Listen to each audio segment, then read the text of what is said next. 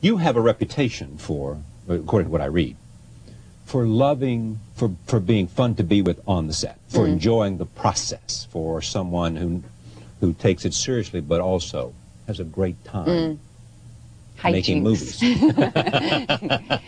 Well, it's too long a day not Yeah. to enjoy yourself. And you do have to, I take it very seriously, and I think that I'm a very focused person. But I think that there's always room for fun and camaraderie. And on this particular movie, which was, I, I must say, um, to no detraction from anybody else that I've ever been in the company of at work, but this was from A to Z of what you tabulate a good experience on.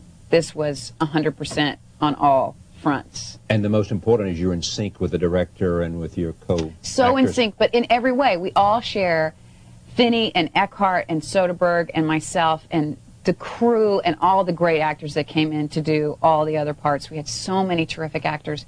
Everybody had the same spirit of joy and the same spirit of really happy to be there. And I, I- I think this was that perfect experience that makes you understand everything that's come before. Because everything that's come before and all of its positive and in some of its frustration and everything else has prepared you perfectly for this moment. And that's how i felt every day on this hmm. movie. I would assume you just signed this terrific deal, I guess, with Joe Roth, who mm-hmm. left Disney to form his own production company. And it's a five, whatever it is, five or six picture deal, whatever the deal is. But you can now say, I know what it is I like, Mm-hmm. and I'm going to try to make that happen, both in terms of choosing projects, choosing a director. Yes?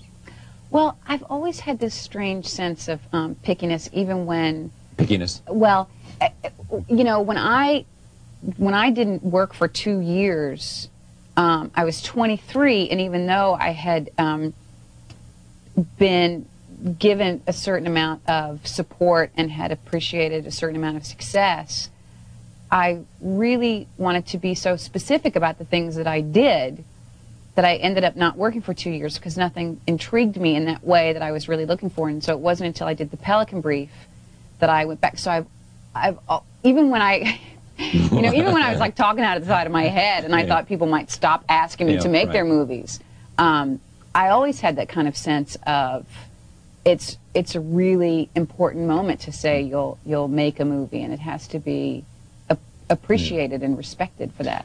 But even though people were saying to you, maybe someone was saying, listen, you better get back on the boards, uh, you refused to choose something that you didn't feel perfectly Mm. good about. Yeah, and I was also really fortunate because I wasn't getting um, pressure from people. People were really supporting my decision to, you know, and even though some scripts would come down the pike and and I wouldn't have a very high opinion and other people would have a higher opinion and I, you know, I was I always felt very supported in my stance. When they brought you Pelican Brief, Mm-hmm. you suggested Denzel. Yeah. I did. I just, I, I had this epiphany.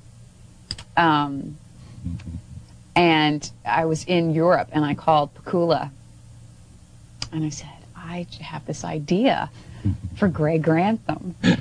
and uh, he said, you know, what is it? And, and I didn't, I didn't know how he'd respond because it's, it's, you know, we were talking about a lot of really great, capable actors, and you know, Denzel just came to me, and um, I said, you know, uh, Denzel Washington, and there was this long pause, and I thought, oh, and he goes, what an inspired idea. I was like, oh, okay, good. now he's with me. So then we took it to the studio, and everybody just, I mean, it was irresistible. He's such a brilliant actor, and I was just so pleased and stunned and thrilled that he agreed to do it. You sign on with Soderbergh, you, then you get Finney, Mm-hmm. and then you start to do it in April and May rather than November and December. And so you're on board. You, this is based on a real life person. Mm-hmm. This is based on two real life people and a real life lawsuit. Did you spend much time sort of debriefing these people at all to find out what she was like, or did you take all of your instruction from the script?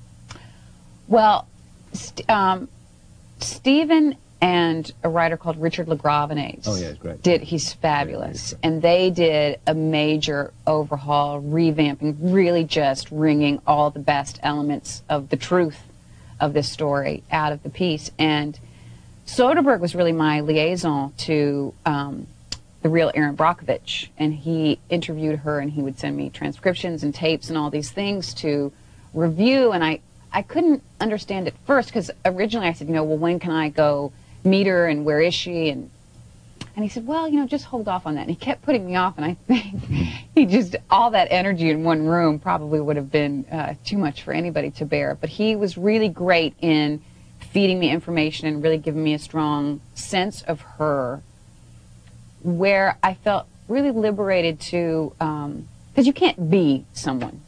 I can't be Erin Brockovich. I can't look exactly like this woman. What can you do? Well, I can interpret her as closely and as accurately as I can. That's what acting is about. I, well, it was for me because I don't want to do an imitation of somebody. That's not. I don't do imitations. I'm not good at that. I- And I felt like there was a method to Stevens keeping us apart for so long, which he did. Um, and I think it was ultimately really smart. And when I kind of saw what he was doing, I realized how clever it really was. And I think that it really freed me to really go the distance with the information that I had. But he had told you what she's like. I mean, he'd given you Oh, a sense oh, that so this was a this was a smart, savvy, tough, Yeah. Oh, very coming from a. Mm-hmm. vulnerable place because she had kids, but determined and taking no prisoners in terms of the fact that this was, you know, it's a wonderful moment in which she's talking um, to the, I've forgotten the character that Eckhart plays, but the, the guy George. George. And there's a moment in which she basically is saying to him when he's saying this job is all consuming, Mm-hmm. she's saying, you don't know what this means to me. Right.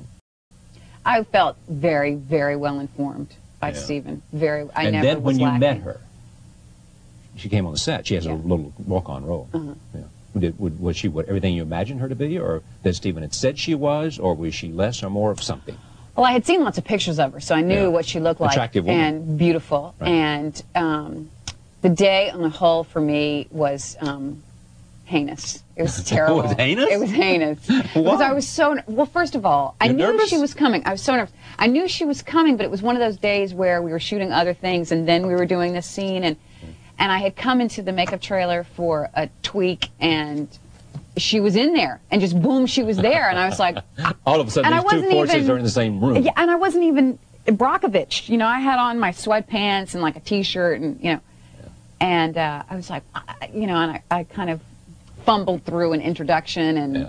and whatever. And then when she came to the set and she was in the scene, I was so consumed with the idea of what is she thinking? What? Uh, thank goodness it's a very simple What did scene. she think about seeing you, or what did she think about seeing this portrayal of her life right all of there? it. All of it. Here i am pretending to be her. Here these people are pretending to be her children. We're pretending that this is her life. Like what is she thinking? And she seemed so calm and collected that you couldn't read you know you couldn't read excitement. You couldn't read nervousness. She was just very cool. And i thought oh god. And i was i was the antithesis of that. I was just a complete wreck All right, the first scene we see is when George, uh, the aforementioned George, played well by Aaron Eckhart, tries to get uh, your phone number. This guy is a biker yeah moves Uh, in next door and who moves in next door, and there's some little bit of he's wondering if he's bothering you, and here it is, and then he sort of moves in, period, and becomes an interesting counterpoint to you. Roll tape. Erin Brockovich. Why don't I take you out to dinner to apologize for my rudeness? Huh? You give me your number. I mean, I already got your address, so you can't get away. Huh? And I'll call you up proper and I'll ask you out and everything. you want my number I do. I do want your number. which number do you want D- george George. Now, I like the way you say that, George. Uh, well, how many numbers you got? Oh, I got numbers coming out of my ears. For instance, 10. Ten. Yeah. That's how many months old my baby girl is. You got a little girl? Yeah. Yeah, sexy, huh? How about this for number 6? That's how old my other daughter is. 8 is the age of my son. 2 is how many times I've been married and divorced. 16 is the number of dollars I have in my bank account. 850-3943. That's my phone number. And with all the numbers I gave you, I'm guessing 0 is the number of times you're going to call it. Hey, how the hell do you remember your bank balance right off the top of your head like that? See, that impresses me. Now, what's the best line? That impresses me. No, he says, "How'd you know your bank account Oh, yeah. off the top of your head like that?" Aaron is so good in this movie, and I have to say Aaron Eckhart because Yeah. with Aaron and Aaron and Right, right, all right, the Aaron different Eckhart. Aarons, but he's so good in this movie. Now, you said you loved him, and he was. The little asides in that script, that dialogue, was that stuff that he brought to it, or was it not in the script, or wasn't in the script, or what? he always added so much to the scenes, just little lines here and there, just would pepper it with his own little thoughts as George, and it really made everything come to life so vividly. Yeah. I love performing scenes with him. I mean, that was a great dialogue. I mean, that shows you, I would think, knowing nothing about acting, that if you are in fact an actor and somebody gives you those kind of fun lines, mm-hmm. it can make your job ten times. Well, easier. that was always one of my favorite scenes when I come out in the yard and Yeah. he's got the bike and the whole thing. It's a great two characters meeting in a movie for the first time. setting up the whole relationship that will exist throughout.